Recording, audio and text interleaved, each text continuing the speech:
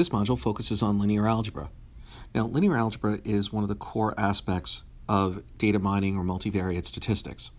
Many of the techniques rely on linear algebra and the use of what we will call the covariance matrix and operations with the covariance matrix. So the reason this is important is because it helps us analyze multidimensional data because every column in the matrix will represent a variable and every row will represent an observation.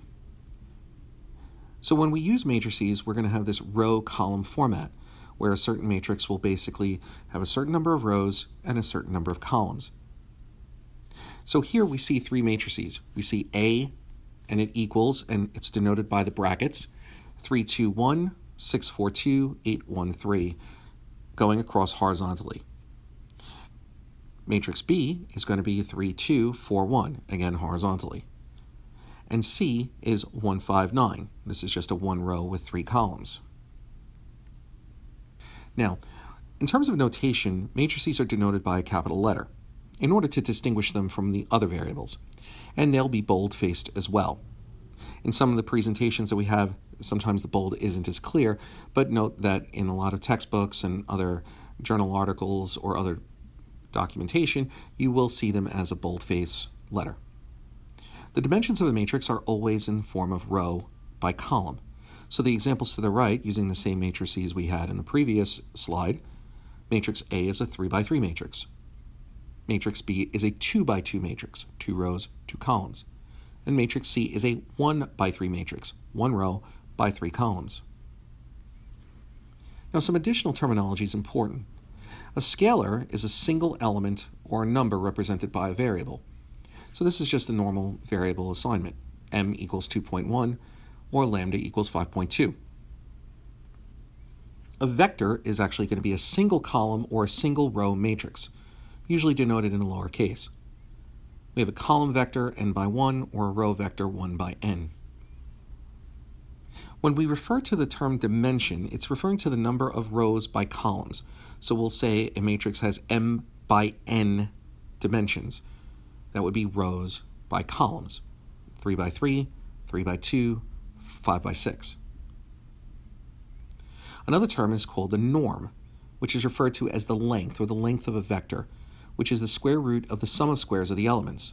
And it can be written with two bars or one, but it's most noted as two bars, which is the square root of each one of the items squared.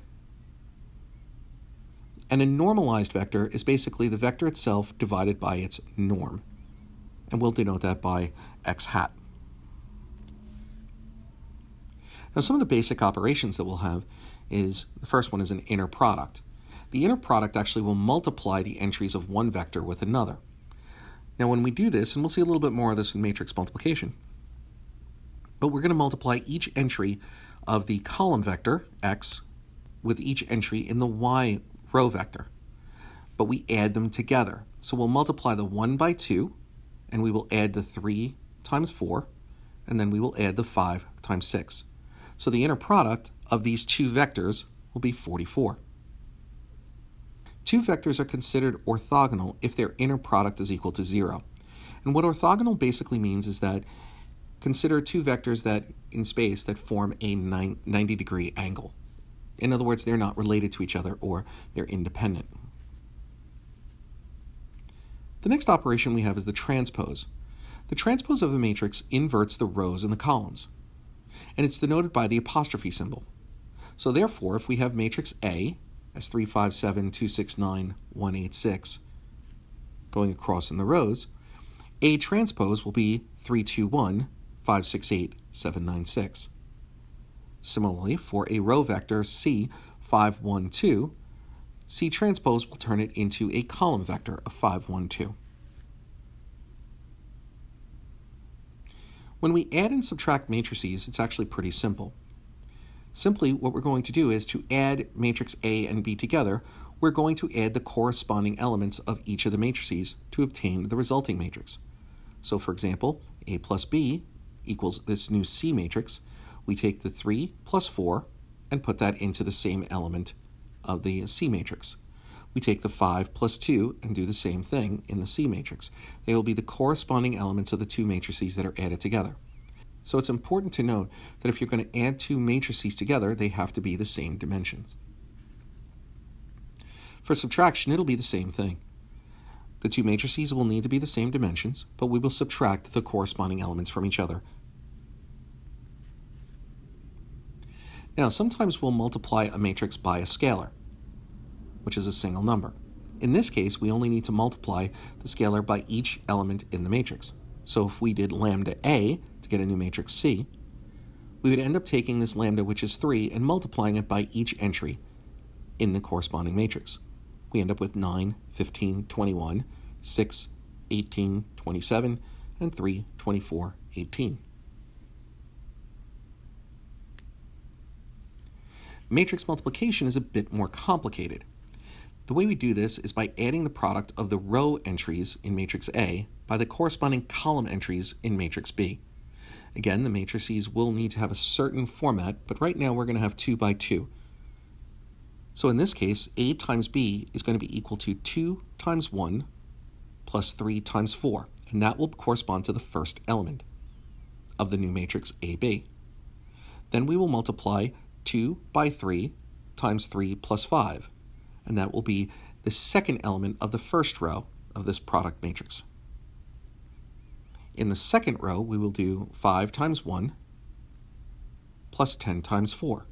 That will be the first entry in the second row. And then 5 times 3 plus 10 times 5, and that will be in the second row, second entry. So therefore, the product of the two matrices will be 14, 21, 45, and 65. Now, when multiplying or dividing matrices, it's important to ensure that the inner dimensions are the same. So if you have a matrix A, which is 2 by 3 in dimension, and matrix B, which is 3 by 2 in dimension, the multiplication is possible because the inner dimensions are the same. So what we're looking for is these numbers in the middle based on the dimensions. So the columns of the left matrix have to equal the number of rows in the right matrix. So here we have 2 by 3, 3 by 2. The inner numbers are the same, therefore we can do the multiplication. The resulting matrix will be a 2 by 2 matrix, and we see that that's denoted by the number of rows in the first matrix by the number of columns in the second matrix. If we have matrix A, which is 3 by 4, and matrix B, which is 3 by 4, the multiplication is not possible because the inner dimension items are different.